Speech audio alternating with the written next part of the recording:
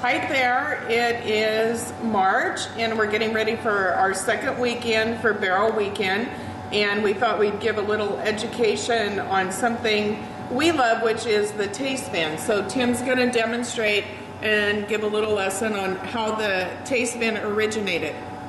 Hi everyone, this is the tastevin which uh, goes back to uh, mid, almost medieval times in France, specifically in Burgundy and the uh, winemaker or cellar master, when he was tasting through the barrels, uh, back then, bear in mind, we didn't have electricity, so we didn't have lighting in the in the cellars. It was always dark. The only lighting they had was they had some candle uh, sconces on the walls that they would light so they could find their way around through the barrels.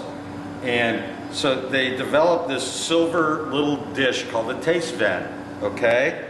And what a tastevin was, was of course very bright silver, and they would go to the barrel and draw a sample out of the barrel, like I just did here. Now, in the bigger barrels, they would put a wine thief in and fill up the little tastevin. But what this did was, as you can see, any ambient light that was in the room, and in this, that case it was candlelight, would immediately reflect off the bottom of the tastevin, letting you see the color and clarity of the wine. So it was a tool. And then they would just simply take a sip and check the wine, but more importantly, they could see the uh, visuals, the aesthetics of the wine.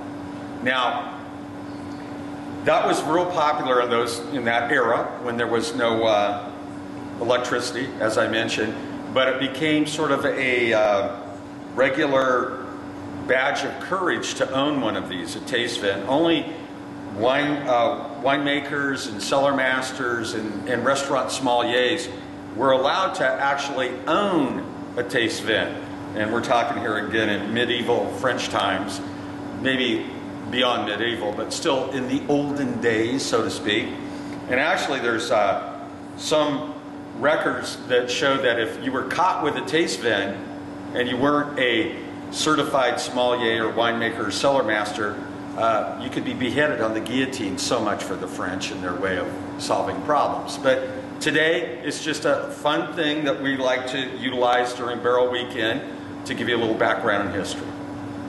Cheers. See you this weekend.